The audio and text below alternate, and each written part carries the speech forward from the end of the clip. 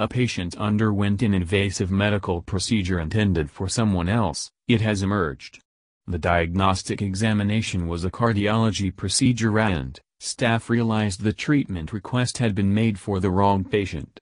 The patient was told and suffered no adverse effect, North Tees and Hartlepool NHS Foundation Trust said. The procedure in January was initially recorded as a so-called never event and later escalated to a serious incident. A trust spokesman said, we can confirm that earlier this year, a day case cardiology procedure was carried out on a patient, who did not require this particular diagnostic investigation. We have fully apologized to the patient, who has suffered no adverse effect from the procedure.